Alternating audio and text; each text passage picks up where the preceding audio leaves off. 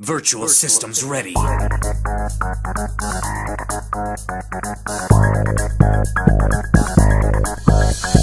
Guys, it's me, XPC. Have you ever wondered why after two years when the Fusion Fall game shut down, Fusion Fall Legacy then showed up? Well, this is because there were many other projects before Legacy, you may not know about some of them. Well, today, along with my two very special guests, we'll give you a little timeline of what happened behind the scenes before and after Fusion Fall shut down on August 29th, 2013. But first, we gotta go back in time to 2013. Cue the Song of Time.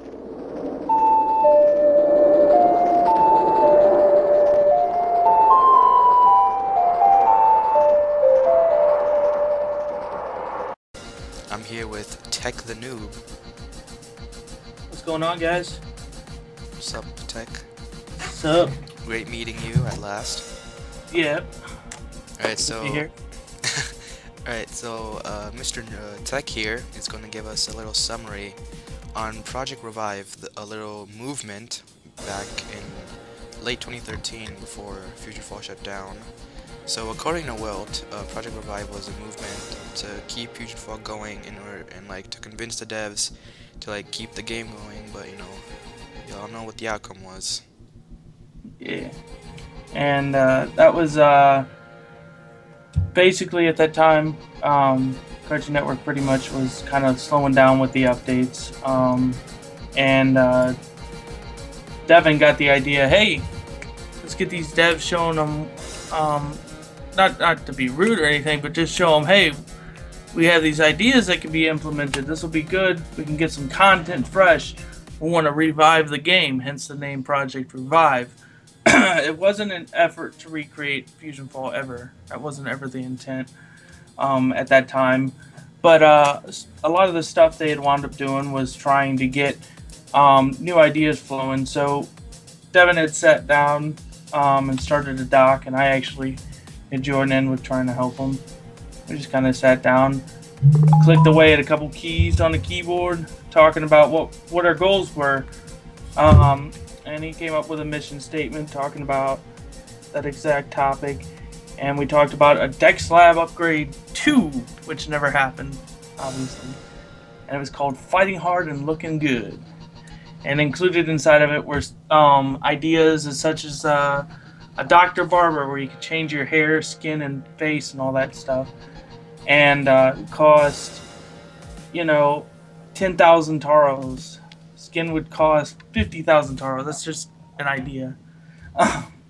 so you couldn't change height, weight, or gender.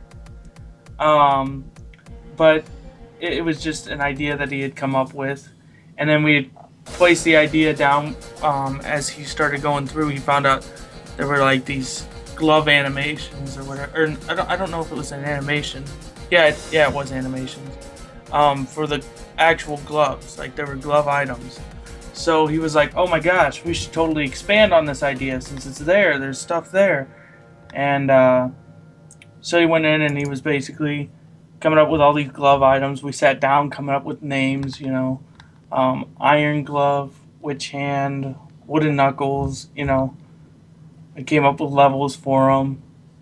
Came up with a character, an NPC with uh, little scissors above his head that I wound up photoshopping. And uh, wound up also having an image where it kind of showed what that screen would look like. It showed "Welcome to Dr. Barber Surgery and Haircut." Kind of gave you an overview of what was going on. But yeah, I mean that that was kind of the start of it. Um, we did a lot of promotional videos. Um, created a lot of 3D models such as like Laszlo, Mordecai, BMO, all that different stuff, and then he wound up posting it up to Extreme Fusion Fall forums. And uh, at that time, um, we wanted to get people kind of involved with it. So I was like, hey, I'm going to create a change.org petition. I'm going to get a whole bunch of people to sign it. And he's like, yeah, yeah, do that, do that, do that. So um, I wound up creating that, and we wound up getting some signature flowing. And uh, that was kind of the beginning. That was that was where it went. And uh, I mean, that's pretty much the timeline for that, how it began. and everyone kind of knows the rest from there. I did sign one. Of, I did make a signature on that, on the petition myself. Yeah. All right. And Yeah. then- and uh, people think that Project Revive was like the actual demo that Wilttilt made in order to revive the game. That's not exactly. That's not the. Oh, yeah. That's not what it is at all. It's it's the movement. It's like the petition and all that. Yeah, I forgot to mention that. That that that demo, whenever he was coming out with it, that was just ideas that he wanted to wind up um, making. That, that was the ideas he wanted to make to get the de- devs interested, saying, "Hey, look, I'm a kid. I can do it. You know, I know you guys can do it. It's not. It can't be that hard. You know, type of thing. It's just again trying to get the devs motivated and wanting to change it." Because if you if you just say, "Oh yeah, update the game, update the game," they just get frustrated, roll their eyes, and they're like, "Whatever," you know. But if you actually show them content and you're like, "Look, this is our idea. This is what we did, and we think that it could be implemented in a cool way if you do it, in some way, shape, or form," and uh, you know, so that that's what that demo primarily is. It's just ideas and collaborations of what he had in his mind at that time. So, yeah, it's good, good, good environment, good workflow for that. So. And then, um, you know, well, most people know what the result was of the petition and the demo. You know, Cartoon Network said that all our actions are pretty much useless, and they shut the game down. And Uh, was very sad. well, there were a lot of factors for shutting down the game. It wasn't I know, but like, anything. Yeah, it wasn't like they looked at us directly or whatever. no, I know that, but like, Yeah. That had to be a heartbreak. Like really, I mean, honestly, I felt so bad whenever that game shut down, and uh, it wasn't until years later that I got to see all of the reactions of everyone. Um, believe me, writing that email out and giving an update. Hey guys, you know, Fusion Falls shut down, and that that that was a hard one. And I bel you run the Facebook page, right, of Project Um, Revive, I believe. It's like, Yeah, I mean we got we got people that um, update on and off on that, but um, primarily anytime you see Photoshop work, either they got it from me or it's me posting. Yeah, so you know whenever they're like, ah, we got a screen free wallpaper from FFL. Yeah, I hooked you guys up. I let everybody sit it out. In fact, I haven't even released that wallpaper that's on there up on the forums yet. So anybody who wants it better go grab it from there. hmm so. Yep, that's pretty much it, guys. This is the story of Project Revive. Thank you, Tech, for giving us a That was it. timeline of what happened. Yeah. No problem. Alright, so next up is Fusion Fall Resurrection with Ekens. I'm here with Ekens, director of Fusion Fall Resurrection. No, that that was more of a manager. But hello, XPC fanboys. Hey, alright. So I'm gonna ask him, uh, Ethan, he, Ekens here, a couple questions about what happened with Fusion Fall Resurrection. Alright, so first question, how did you start with Fusion, Fusion Fall Resurrection? Um, I saw it on the internet and I made an application. They accepted me. I didn't really know what I was doing. I said I would be a programmer, but I I still have no clue how to program. But I eventually became a story writer guy, but that's not a big deal because the project kind of sucked. That's basically how I found it. Did you, did, you like have fun making the game? I mean, I mean, there was a lot of stress because people disagreed with each other. Nobody would get fired, even if they couldn't do anything. It was, it was all right. We had one guy. We had a few guys who made a few areas that are pretty bad.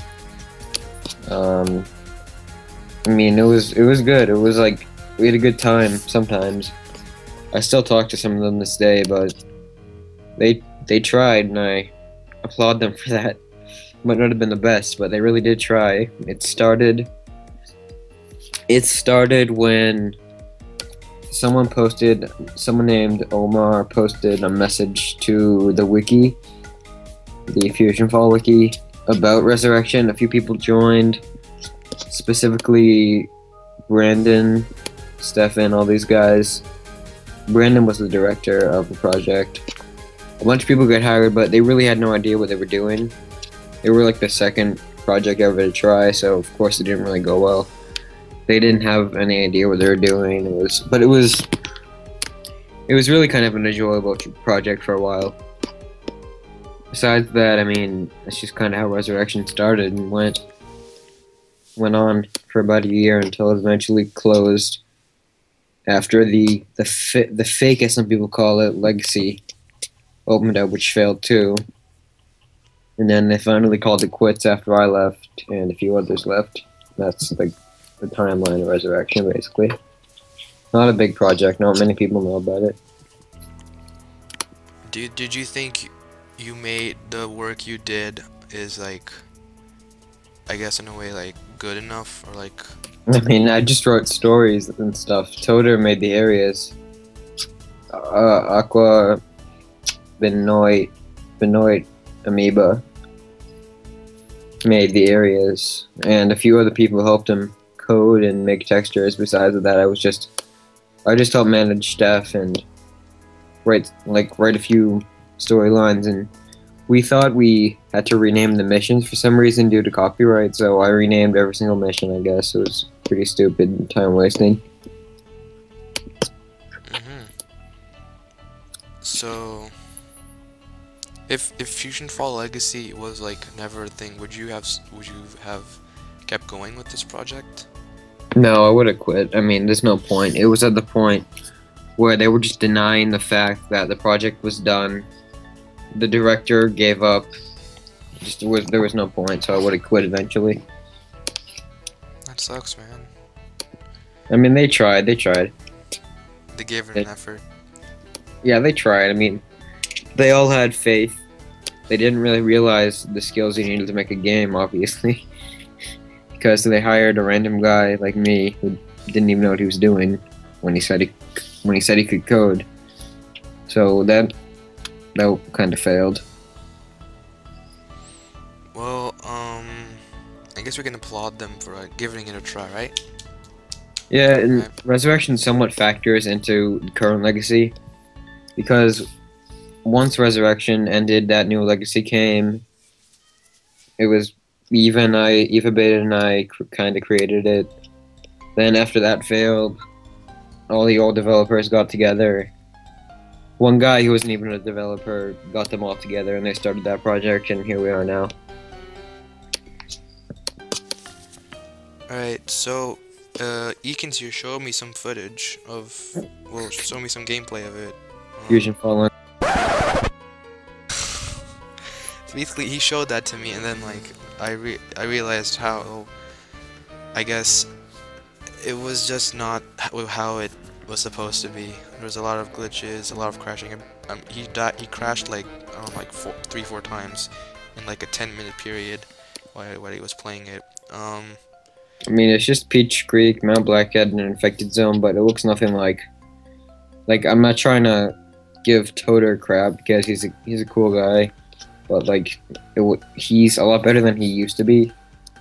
But it just isn't good. It doesn't look like Fusion Fall at all, and I think you can justify what I just said. Right. Um. That sucks, man. I, I failed project. It sucks, man. No, all, there's been many projects. Revive kind of failed. The old Legacy failed. Galaxy failed.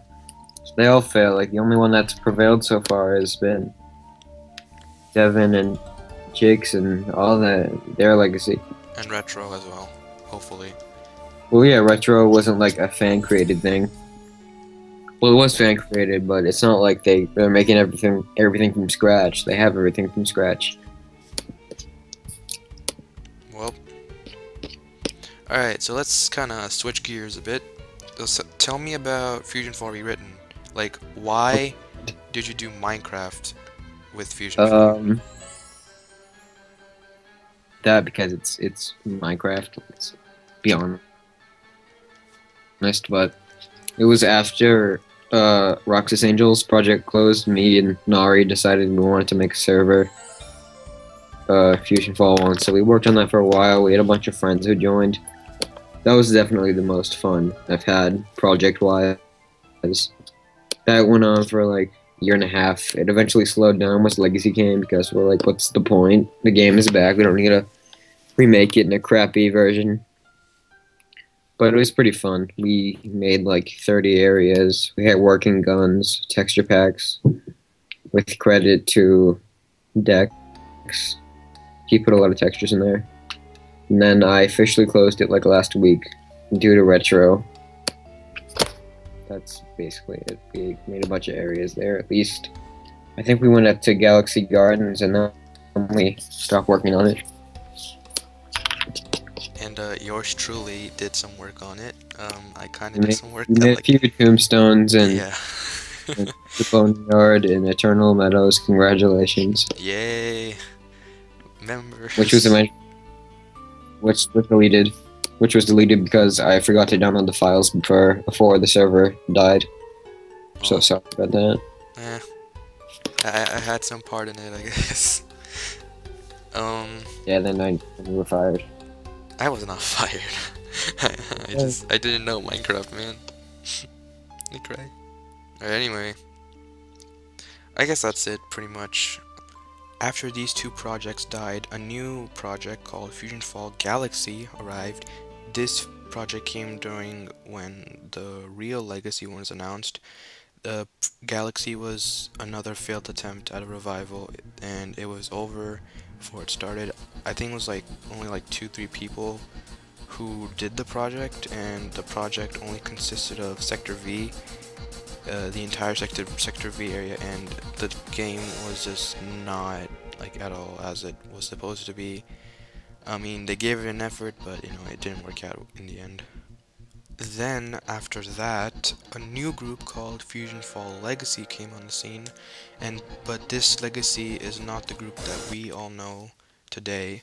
This legacy group had was the, a fake one basically, and these guys kind of stole their name um, of legacy because the original legacy had Wilt, Dex, 7322 or Jaketer, uh, Eva Beta and Holiday Hero, and they kind of started the original one. But then this group came in and stole their name, and if, as you can see from the footage, they didn't get anywhere at all. They went, they only did Sector V, maybe more areas that we didn't know about, but they gave up after a few months. I remember uh, Chris was in it. Um, Wilt was, he eventually joined, and then Ekens was in it too. There were a couple other guys here and there, but they all split apart, and then after the fake one kind of died down, the real one came back and took over, and now here we are. But I do want to thank the fake legacy for giving it an effort to revive Fusion Fall. Thank you for that. And now, here we are with two Fusion Fall games on the way. Fusion Fall Legacy, the real one, and Fusion Fall Retro, which is Fusion Fall before the birthday bash in 2010. Now, I hope you guys are ready to play Fusion Fall Retro in the coming weeks. And on the other hand, with Fusion Fall Legacy, we're months away from a playable demo, and we're gonna get to play the full game with new nanos, new characters, new missions, new story. It's gonna be amazing. I can't wait to play both of these games, and I hope you guys are ready to play too. So I'll see you guys in game, and I hope you guys enjoyed this little video. Peace.